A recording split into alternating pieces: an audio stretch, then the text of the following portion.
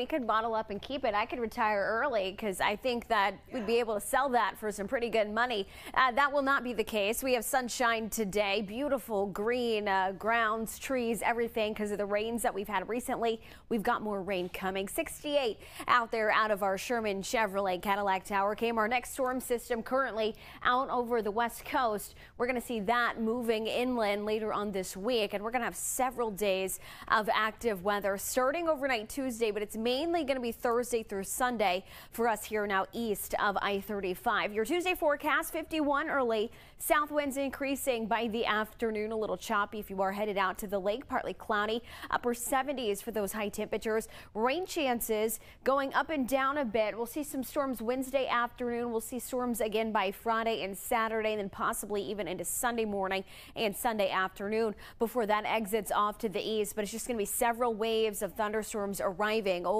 a multiple day period. We're going to jump right in Tuesday. Currently, this does not include our I-35 corridor counties, but just one county over, so we will be watching for that to be expanded possibly farther east. Not out of the question, but a low risk for that for tomorrow. Then we move into Wednesday, part of Garvin County included in that severe weather risk. This also could potentially be expanded as we head closer towards midweek, so we'll be watching that. And then by Thursday, Friday, and Saturday, here's our severe weather risk. It's right over Texoma, damaging winds, large hail, and a tornado threat there both days towards the end of the week, including your Saturday. Uh, that doesn't want to load either, but Saturday is also under that risk. We're going to be seeing storms arriving generally Thursday onwards, but we'll have rain in and out Tuesday night into Wednesday morning, and then again by Wednesday afternoon. There's some of that severe threat on the way by 1, 2, 3 o'clock in the afternoon. Here's Thursday night, our next chance for thunderstorms, that'll last overnight through Friday morning and Friday afternoon. We'll recharge again